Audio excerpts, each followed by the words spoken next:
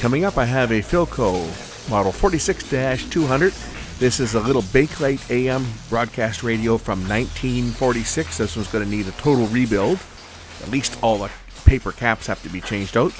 And then we'll see how it works. This is a Philco Bakelite radio I picked up off of Facebook. It's just a standard AM radio. This is going to be around, I'm going to guess, uh, 1946 vintage. So before plugging this one in, the first thing we have to do is to uh, replace any capacitors, any paper capacitors that may be found in this, and it's going to have some in there for sure because we don't want to damage the tube. So I'm going to remove the knobs and we're going to open this unit up and do an inspection and then overhaul this, replace paper capacitors, and then we'll try it out.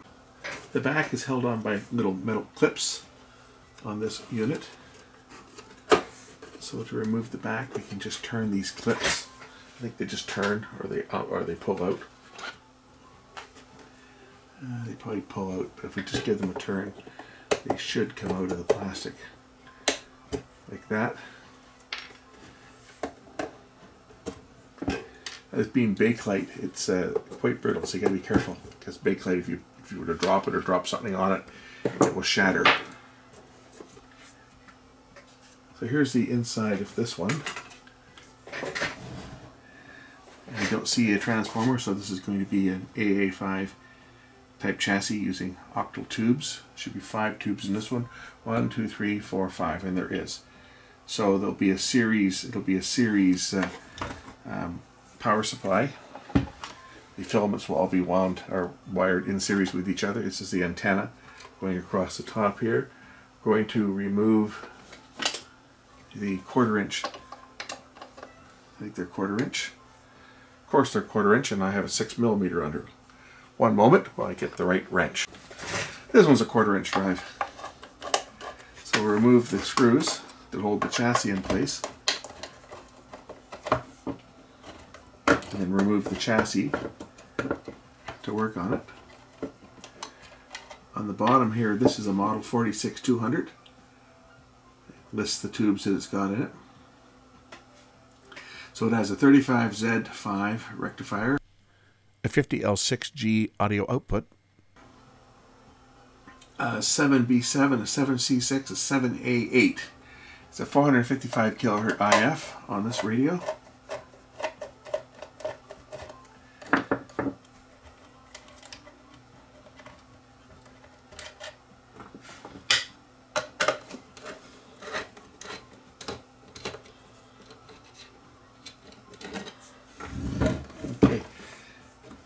Antenna should lift right out with the radio.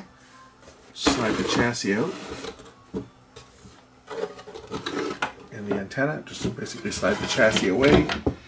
And here is the chassis itself, complete with the antenna, which is basically glued together. It's just a bunch of wires that are glued together, attached here and over here onto the uh, main uh, oscillator coil. There's a light to light up the dial. Here is the chassis. Let's take a look at what we have underneath here. And sure enough, we have a number of paper capacitors that do most definitely need to be replaced. There are one, two, three, four, five, six for sure that have to be replaced. This is an electrolytic, I believe, this one, but uh, we'll be changing that one out as well. But definitely we have to change these ones because if we don't, these capacitors here are, uh, oh, this has got a, what the heck is this? Is this just a resistor? Or is that a selenium? That's a resistor, I guess. Um, if we don't change out these caps, then uh, we run the risk that uh, they're going to be leaking and applying a DC voltage to the grid where they're supposed to block the DC voltage and that will in turn burn out the tubes. So before we do anything, we need to change out these caps at least, and probably this one as well. This one being the main filter. I think this is the main filter here. Let's just see what this one is. It's also a paper cap for sure. It's held in place with this metal band that goes around it, so we'll just bend that out of the way so that we can remove this.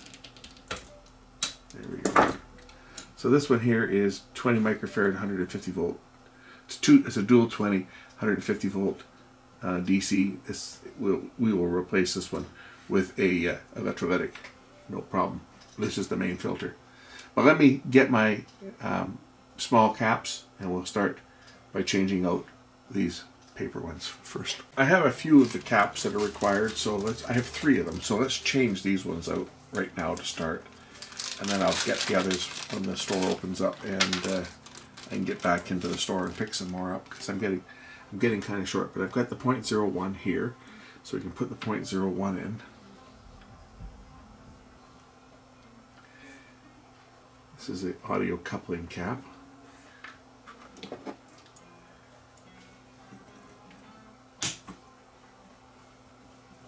This one goes from the volume control to the uh, grid of the uh, audio amplifier tube.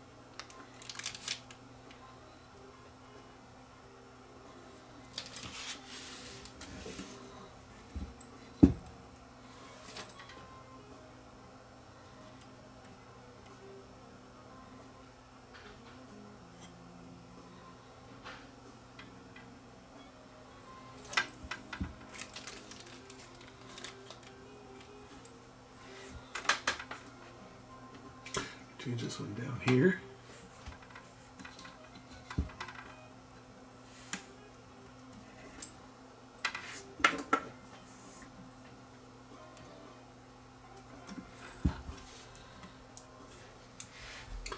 This goes from this tube here.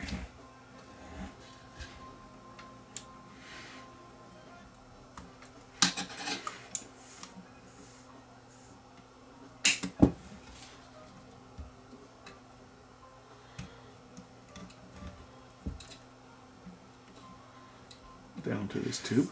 This is a point one.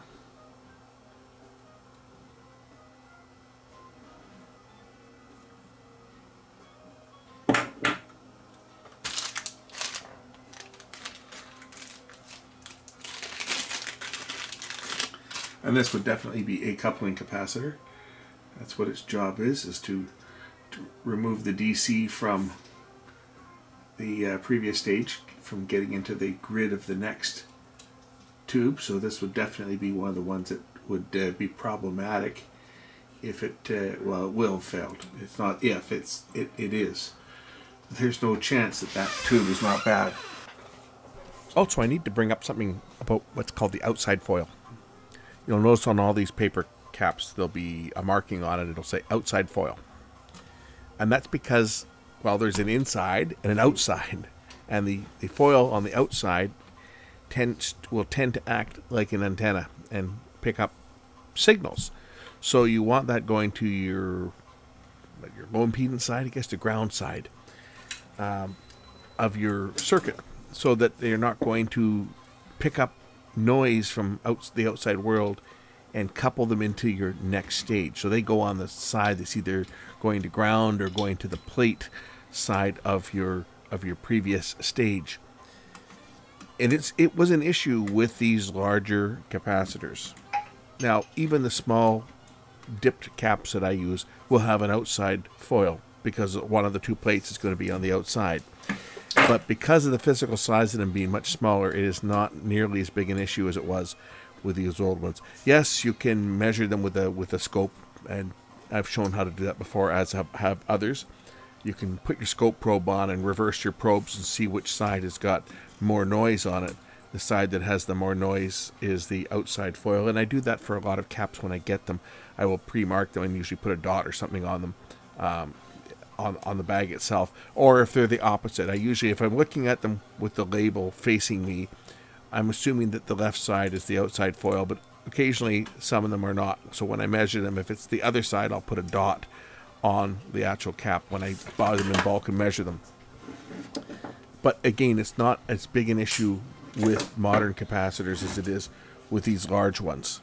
Uh, if you get the larger tubular tubular size ones that have an, a larger surface area, yes, you might want to check those out. But the small ones, like I'm using, the dipped caps, it's not as big a deal. But all the capacitors that I'm using, I have pre-screened them. And I am trying to put them in the same orientation that the original ones came out.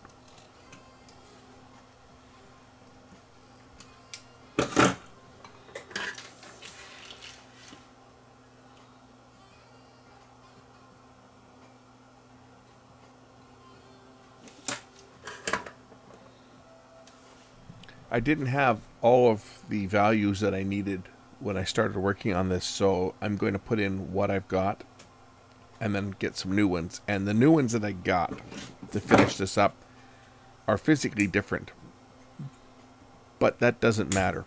Capacity wise, are the same. The same ratings, same voltage rating, same uh, capacity. So even though the ones I'm going to put in from the next batch are tiny, little small caps, they're still going to be fine. Get them all done. This uh, this was kind of an interesting one because you see they've wrapped a, a, piece of wire around the end of the of this capacitor, which basically is acting like a resistor in series with the capacitor itself. So I'm going to do the same. I'm going to I'm going to wrap that wire, which is the ground wire. I'm going to wrap that around the body of the cap that I'm putting in, just like it was done on the original.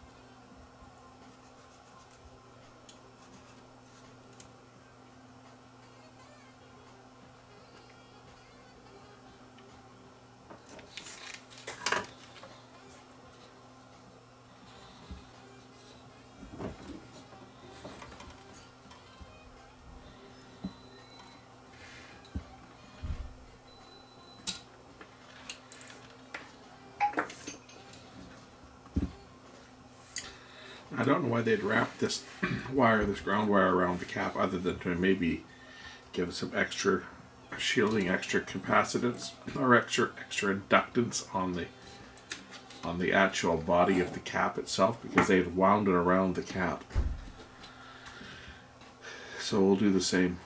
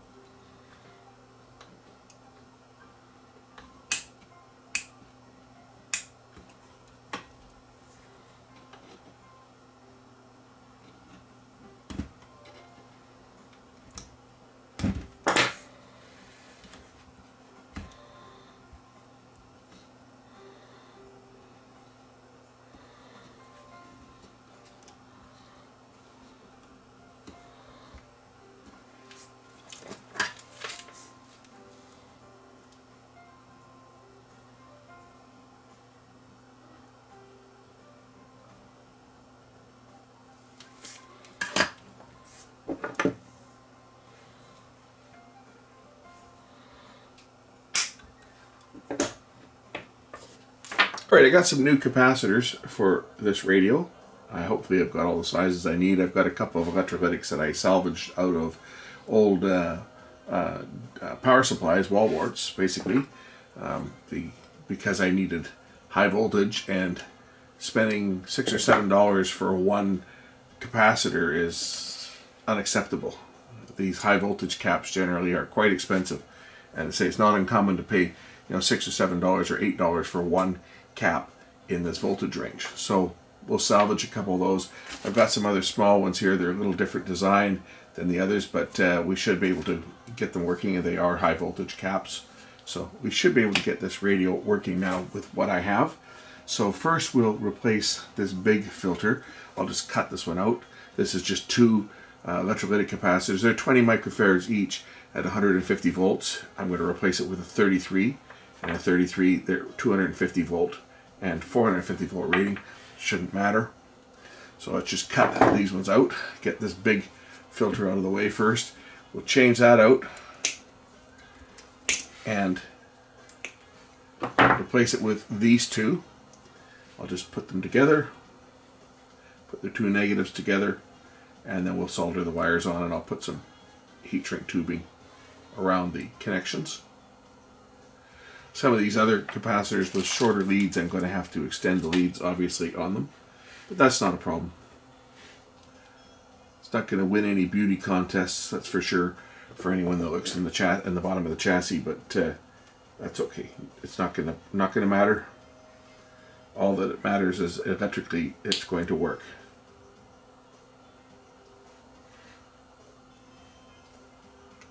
So let me grab some heat shrink tubing we'll get these ones installed. First I'll connect up a common ground. I'm going to extend the length of the ground side on this one just because it's the longer of the two.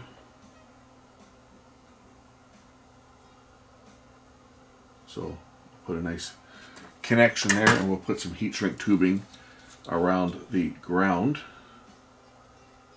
like that. Hopefully this stuff will shrink down small enough.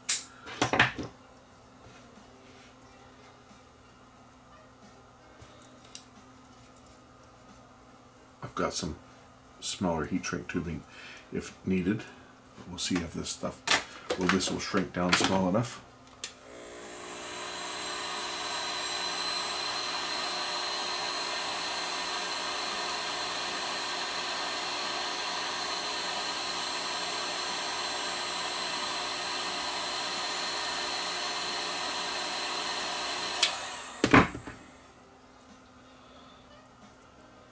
Should that should insulate that one. I've got a, a couple of other pieces of, of heat shrink tubing, a little smaller stuff here that'll go over these other wires and we'll just connect both of these ones for the positive side and then we'll reconnect the negative side in. So let me open up the wires here a bit so that I can splice them. I this. Well, I guess I can I can reattach them to that or or just put a zap tie around to hold them in place.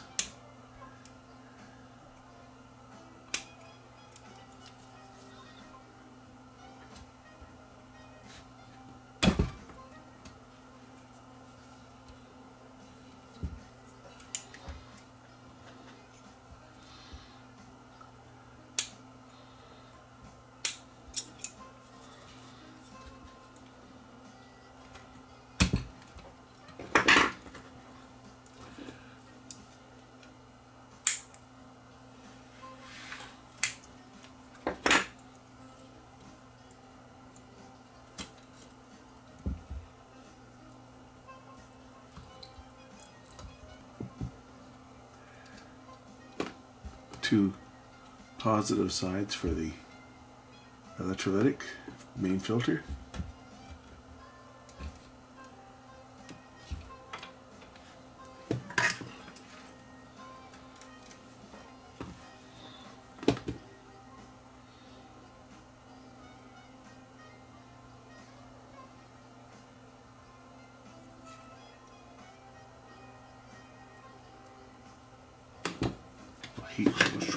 Down.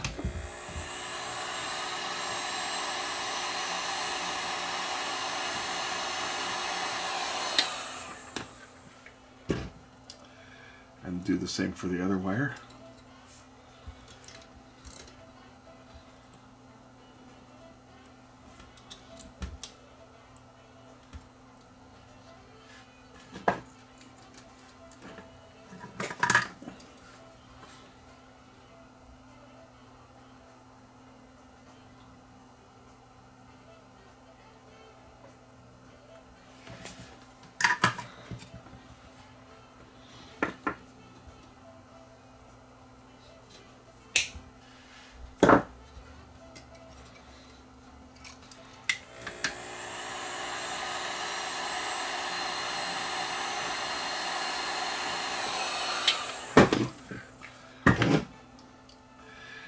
These two filters can probably be held in place by this clip just like the other ones were.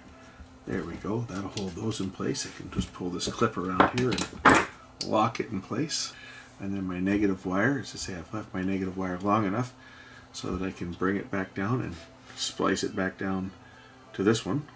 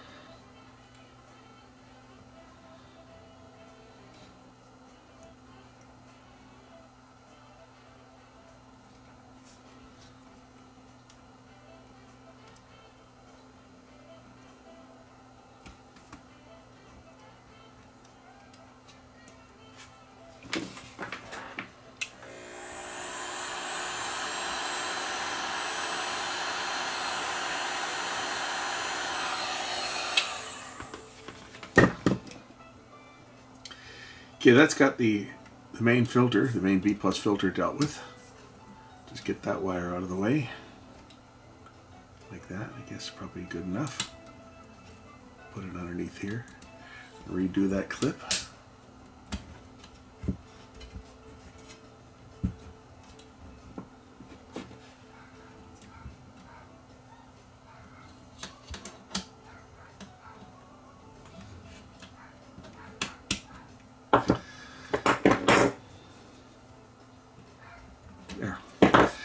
That'll that'll deal with the main filter.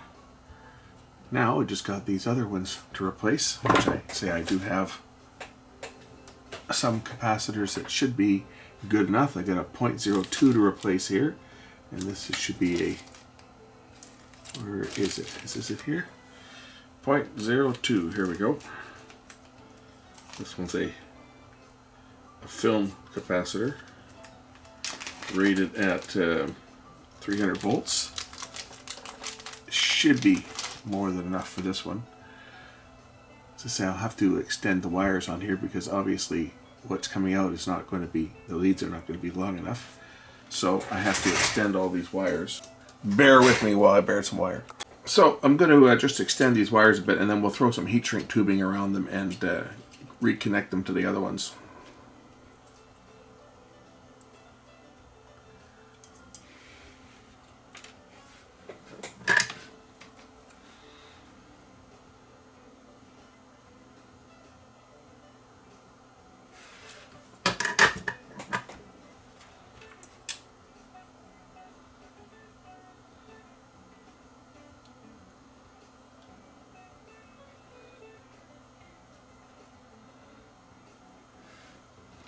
Normally wouldn't use this type of capacitor. It's just that um, the place that I normally go to get my, my conventional caps is not open on Monday.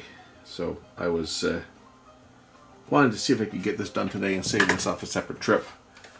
So I went to RP and they of course don't carry those other style caps. They only carry this type. So I went with this type. Let's see what I need for lengthwise I'm going to need about that much on either side.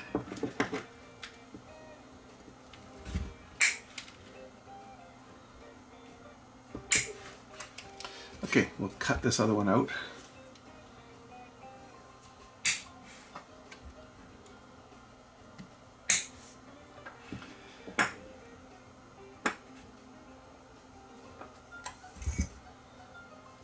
And just put this one in place of it. Probably take it right up to that tube socket in this case.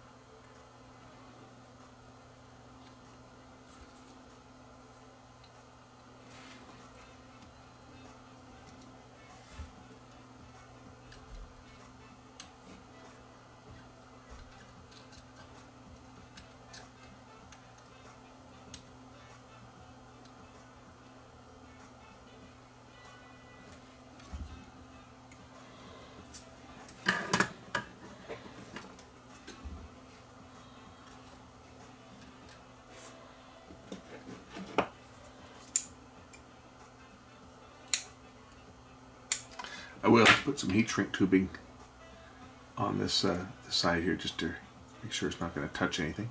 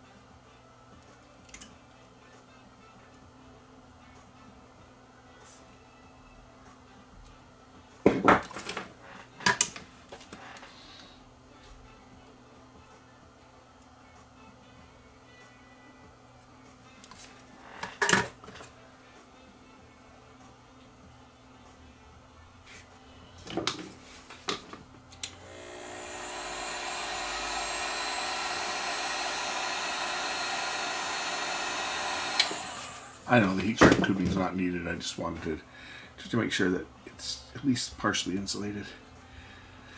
Next one I got to change is this one down here. This one was a what size was this one?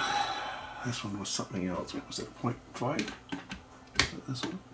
0.04. Okay, 0.04. Got some 0.04s here somewhere. 0.04. There we go. Well, 0.4, 0.047 is what this one is.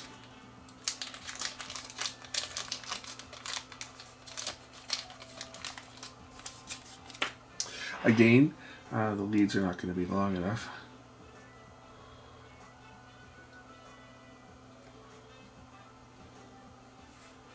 So I'll have to cut this one out and do the same. Extend the leads a little bit on this one.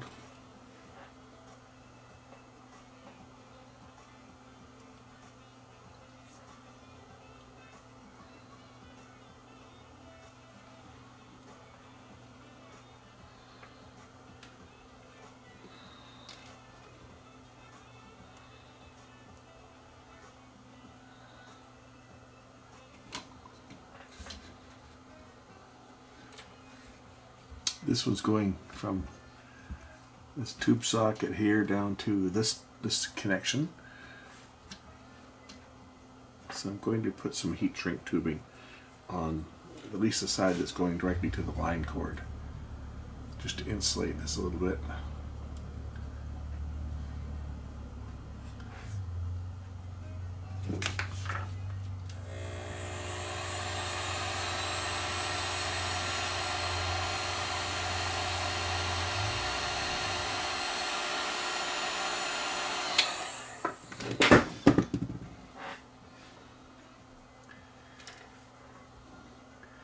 this one's actually connected directly to uh, one side of the line cord, this cap.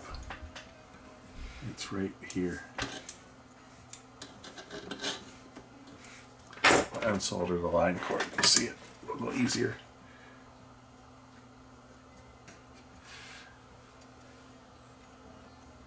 Right to that one.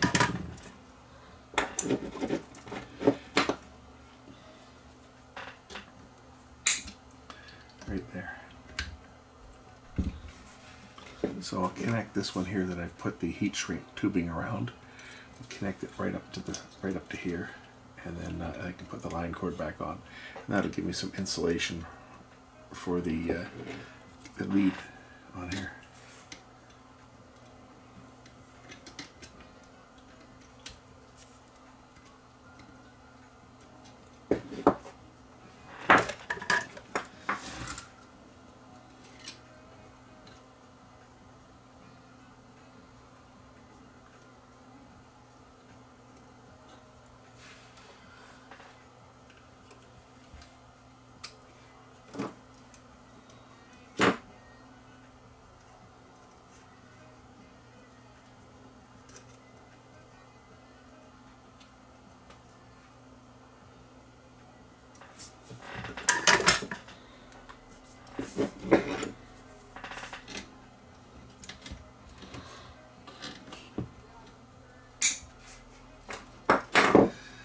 The other side of this this uh, cap goes down to here on the uh, on this tube socket. So we'll just cut it off. That's where the two yellow wires go down here. So we'll just cut this one here out. Fish this down under this resistor.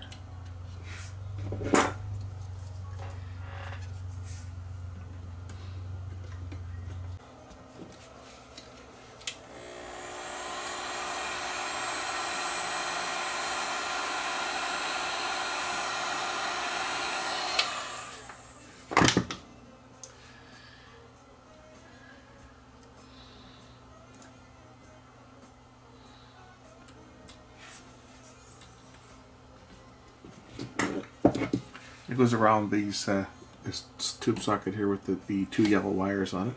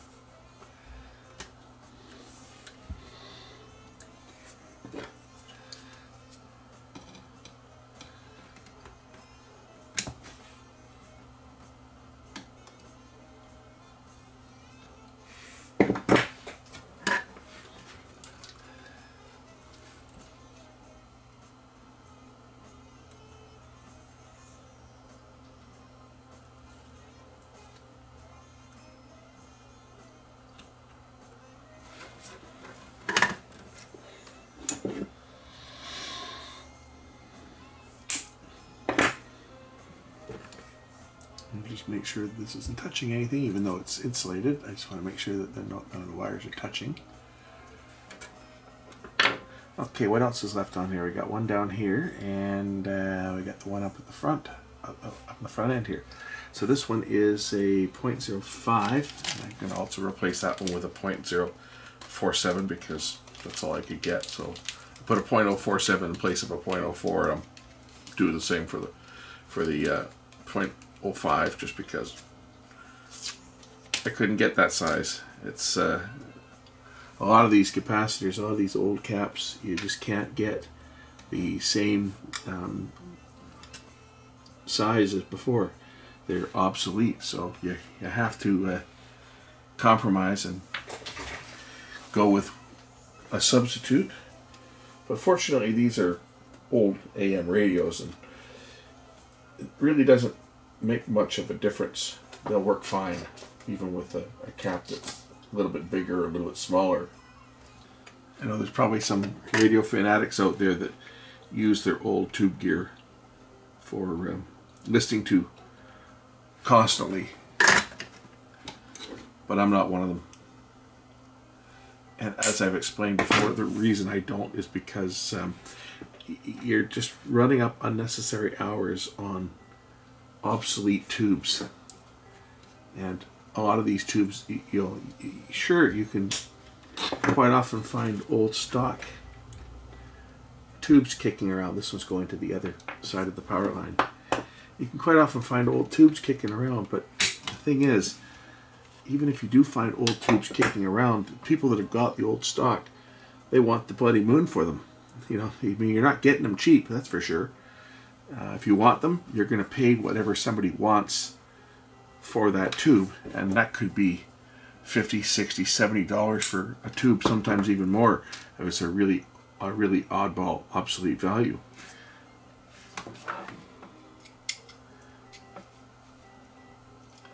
Depends on how rare it is and what it's used in.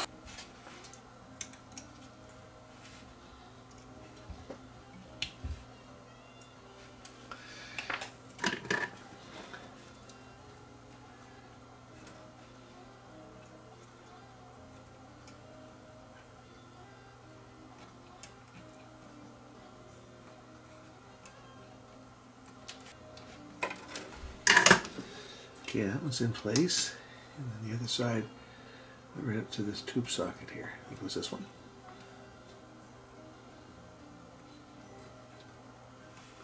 Oh, the original lead might be long enough to reach there.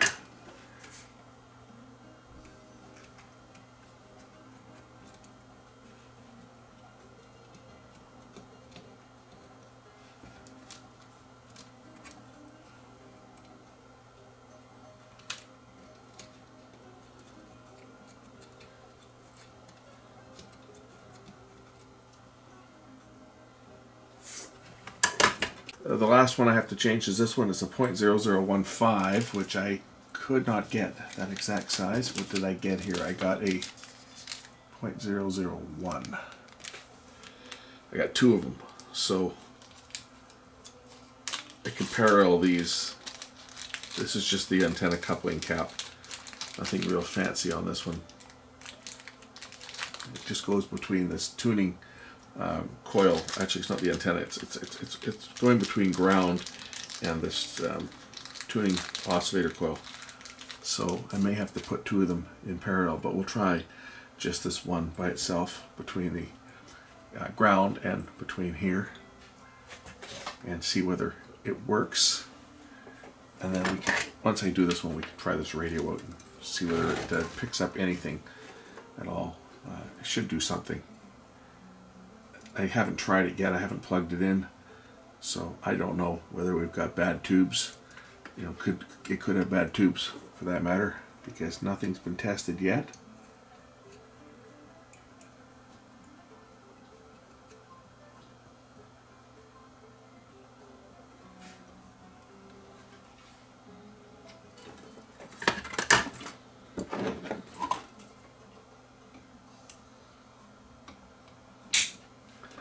We'll find out pretty quick.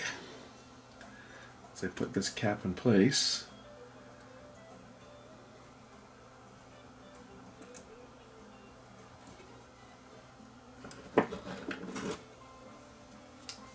It'll be time to try it out.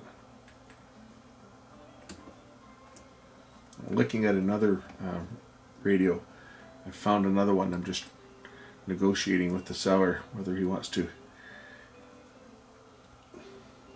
sell it or trade it or trade it for something else or what he wants to do. But uh, say I'm looking at another one right now, and uh, its price is a little bit on the steep side for something that needs to be rebuilt.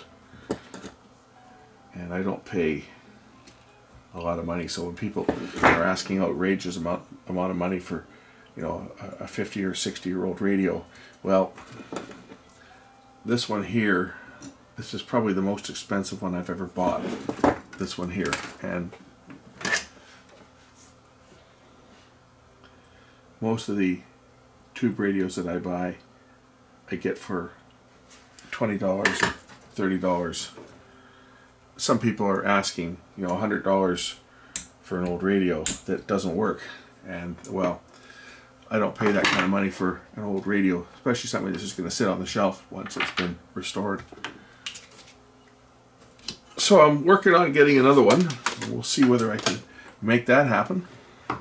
But first, let's plug this one in and see whether I get anything happening. I'm going to plug this into the dim bulb because uh, I don't know what's going to happen. So let me plug this into the dim bulb tester and we'll apply about half of its normal voltage because it'll be going in series with a, incandescent light bulb. That way if there's something that's shorting, it won't blow anything up. I'm going to keep you guys in suspense just a little bit longer as we look at the schematic for this one. So as you can see, it, the filaments are all in series. It's got a 14B6, a four, uh, 14A7, a 7A8, a 50L6, and a 35Y4 rectifier.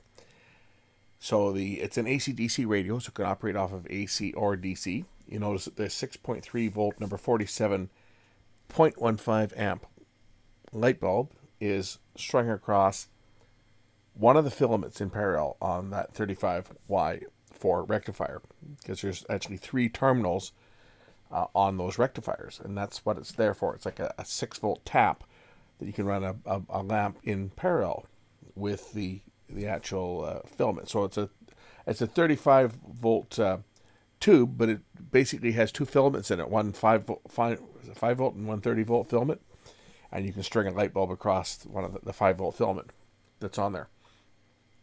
Um, so your 7A8 is your converter that uh, picks up the RF and it's also the oscillator. So the incoming RF from the antenna plus the oscillator, which is tuned with the C3 and C4, which is your ganged uh, tuner, uh, tuning capacitor, generates a, a, a, signal that is mixed with the signal coming from the antenna, which produces an output, which is at 455 kilohertz, which is your first IF stage.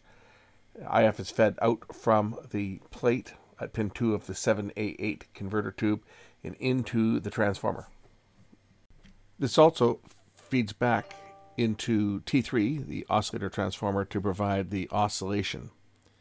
The output of the first IF transformer goes into the 14A7 IF amplifier tube where it is amplified and sent on to the second IF transformer, also providing a feedback through to one of the grids on pin 5 of the 7A8 converter.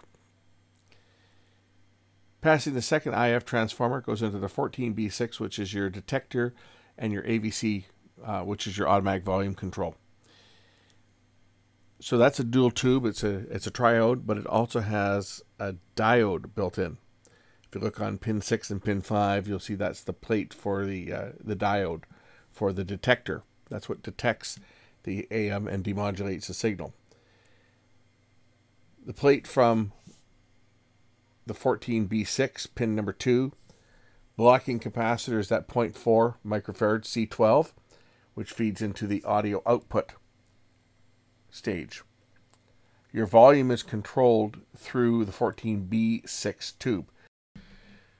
Audio is demodulated in the 14B6 detector tube between that and the second IF and fed out from the second IF into the volume control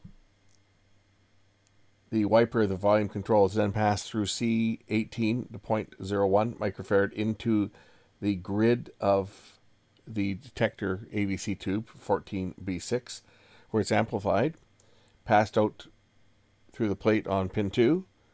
The blocking capacitor C12 blocks the DC from the plate volt uh, plate circuit from getting into the grid of the audio output tube, and then the audio output tube provides you your output through T4, the audio output transformer. Now, when I fire the setup, I'm going to be doing a, a, just a quick adjustment for the IF transformers to maximize the audio, but I'm not going to be putting it on any test equipment or anything because uh, this is just a broadcast receiver and it'll be more than sensitive enough to pick up all of the local stations and probably some distant ones at night as well because uh, sensitivity should actually be pretty good on this radio. All right, here we go. First power. It's a good sign. The light bulb lights up. Are we going to get any noise? Volume's cranked up. I see the tubes are starting to light up, which is a good sign because the filaments are all in series which means I don't have an open filament.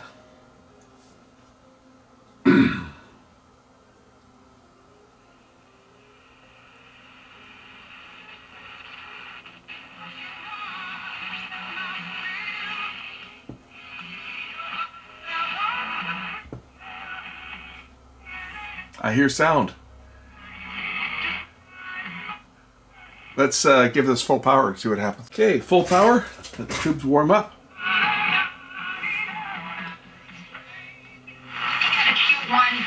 It works.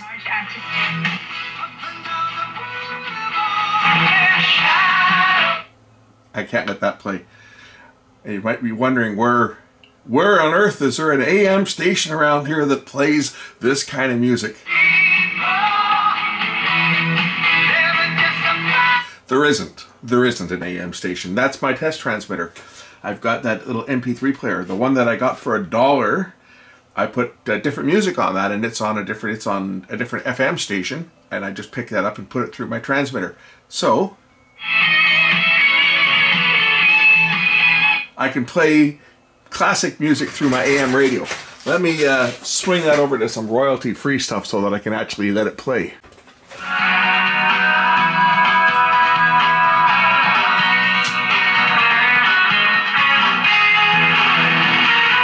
Lots of distortion when you crank it up, but I think that sounds probably as good as this radio ever sounded when it was new. Having the open back speaker is not doing any justice to the microphone. It'll sound a lot better once I get it in the cabinet.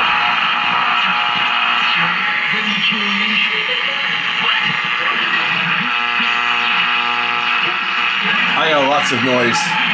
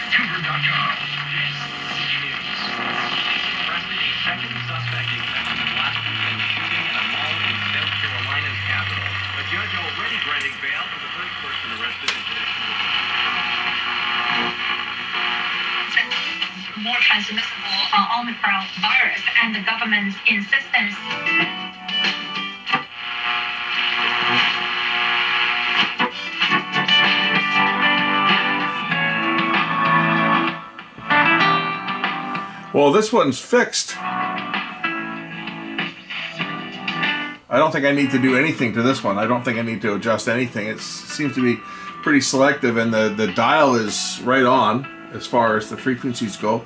So say my AM reception in here kind of sucks. I got a lot of noise around this place um, with all the plasma TVs and crap and all the electronics that's running in here. Right now, I'm sitting, well, where I'm sitting, I've got one, two, three, four, five, five, six, seven fluorescent lamps that are powered by electronic ballasts.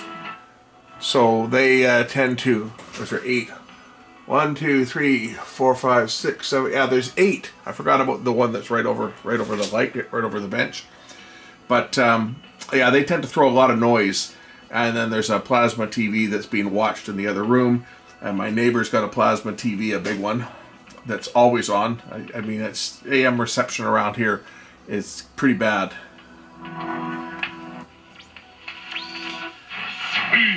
Um, yeah, that's a good question. I think uh, ultimately, what, the what we're IF a bit on here. expecting is next year China will reopen and uh, we will see consumption rebound next year, but not this year for a number of reasons. One is that um, this is, you know, a lot of people think of China Dynamic Zero COVID is a sort of a, a, a choice. They just want to do this. I, I think that part of this is not really their choice because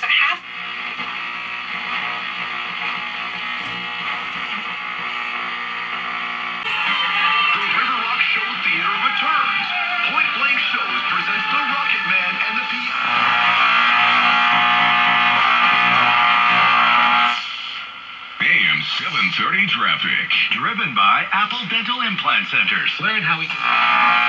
Pretty interesting day for Easter Monday. Let's uh, hope for less eventful Tuesday. Yes, well, I think it's going. To. Yeah, it's working good. I've tweaked this IF ever so slightly, and peaked it up a bit.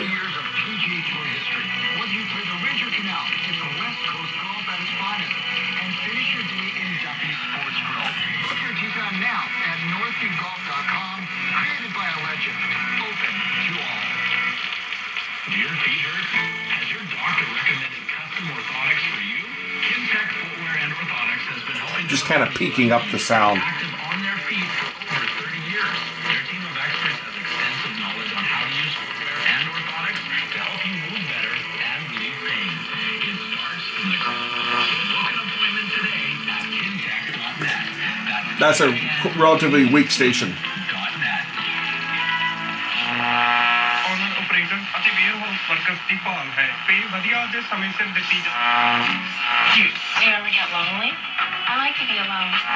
It's Jas Johal, and once you're all caught up on traffic, head on over to the 980 CKNW. It's more than news, it's context, perspective. NW is really weak. Oh, there it is. There it's coming at you pretty good. Sailing for returning travelers. Oh, news news hour. Um, they put the news. They put the global TV news on the radio. It's 980.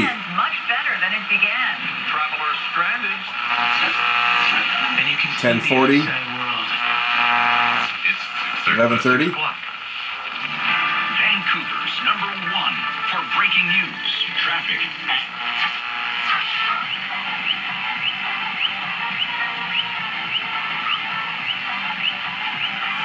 What the heck is that noise? That's it for the spice traffic mix of we got lots of music left to get through, and of course at 6:30, Caprici's coming in with the evening. I don't even know what station that is. Yes. And I actually wanted to talk about something I think it's the multicultural channel, but really interesting unless we got a new AM station. today. Mm-hmm. Out of all days of the year Mm-hmm. is International Jugglers Day. Okay. Are you a juggler? Unfortunately not. I tried. I watched a couple YouTube videos a couple years ago and I even saw. And I kind of got it. But it wasn't good enough. You know what I mean? Like it just, it, I, I dropped a couple. I have no idea where that station is, so that's why I'm kind of listening to see what it is. Yeah. Okay. Yeah. It's around 1200, maybe 1220. So, I mean, if, if you want to try learning again, today is the best day to try because it is, like you said, International Jugglers Day. Jugglers Day. You don't look impressed. No, not really. No? No. Okay, I'm gonna bring a couple of soft. Uh, okay, we'll also bring like you know like soft balls or something like uh, like uh, volleyball.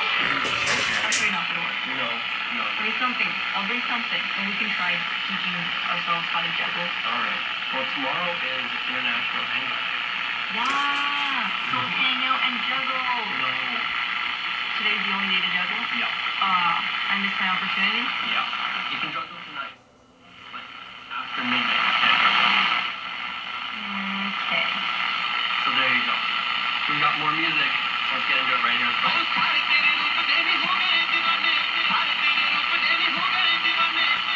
It must be a new station.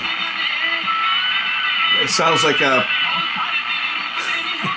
sounds like a Punjabi station, but they were speaking English there. That sounds like Punjabi music to me. That's probably why I've never noticed the station before. I thought it was a multicultural channel down there, but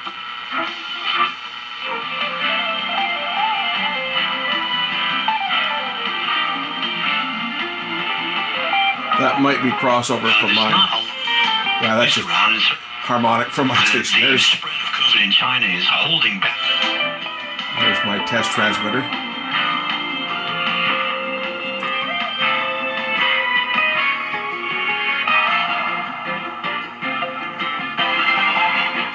That's sounding good. I'm uh, going to put this together, and we'll uh, we'll test it once I get it all together. But I'm happy.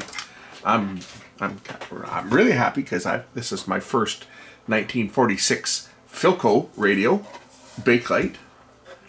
So another one to my collection. The uh, it's complete. It doesn't have any severe damage. There's a couple marks on here. I don't know if those, if those are clean up or not. But let's get the uh, the unit back into its chassis, into the box. Get the chassis back into the cabinet and attached, and uh, get the knobs on it. We'll give it one final test. The chassis mounted again. Let's get the the tuning knobs and the volume knob.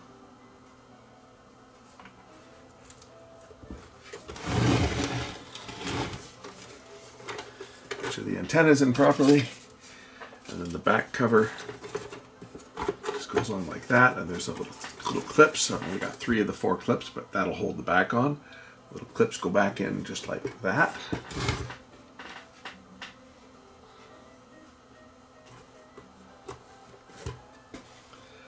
And yes, I know there's no fuse on this thing. It's something that they didn't put on them. It is UL listed, but uh, there is no fuse. Anyway, and there's no there's no strain relief on the cord. Well, there is. It's just not a very good one. Anyway, this is not something that's going to be left plugged in. I can assure you that uh, a radio like this, like all these old dinosaurs, should never, ever, under any circumstances, be left plugged in when you're not actually listening to them. Um, fires were quite common back in the day for old radios like this and any old electronics from the early uh, days of radio. They weren't uh, all that great.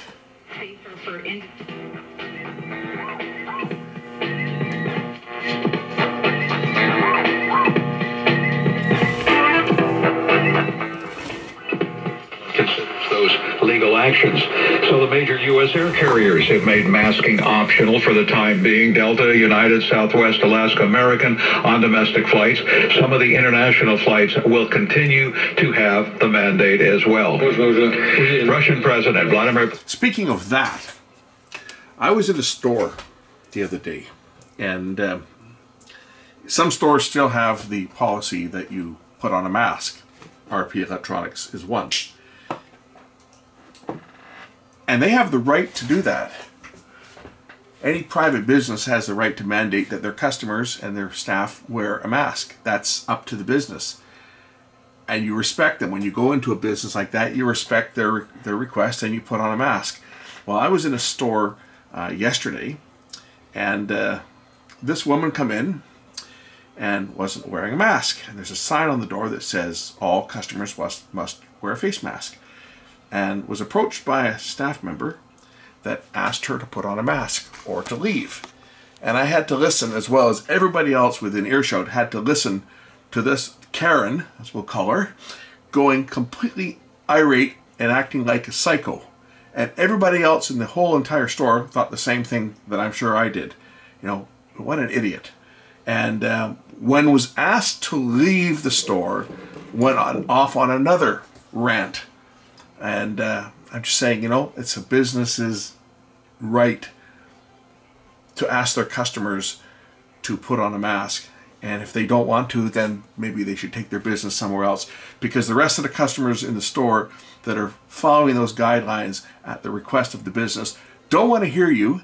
We don't care what your own personal agenda is. We don't want you around us if you're going to be like that. Get the F out. Go shop somewhere else. That's all I have to say about that. Masune, Anyway. Says a summit.